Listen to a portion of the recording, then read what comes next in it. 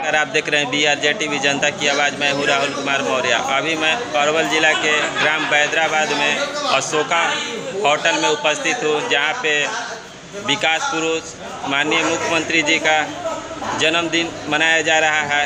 आइए मैं, इनका कर्जकर्ता लोग हैं, इन लोग से बात करते हैं। और विकास पुरुष के बारे में जानकारी दीजिए। इन्होंने पंद्रह साल से जो सत्ता पे हैं, अभी तक तो क्या क्या विकास हुआ इसके बारे में जानकारी दीजिए। सबसे पहले माननीय मुख्यमंत्री नीतीश कुमार जी के जन्मदिन पर पूरे बिहार वासियों को मैं हार्दिक अभिनंदन, हार्दिक बधाई देता हूँ।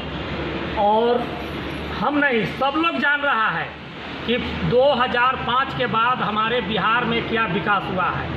सड़क के दिशा में देख लीजिए, बिजली के दिशा में देख लीजिए, हर जगह विकास ही विकास के धारा बह रहा है। इसमें हमको बताने या कहने का ज़रूरी नहीं है।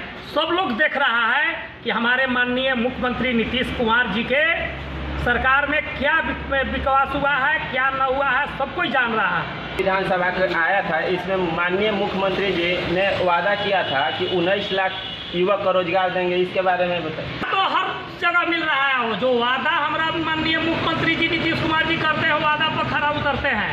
हर हर क्षेत्र में हम लोग रोज़गार दे रहे हैं। किसी क्षेत्र ऐसा नहीं है कि रोज़गार नहीं दे रहे हैं और जो भी है जो पूरा हो जाएगा हर आदमी को रोज़गार मिलेगा। चलिए आप देख रहे थे B R J T V जनता की आवाज़।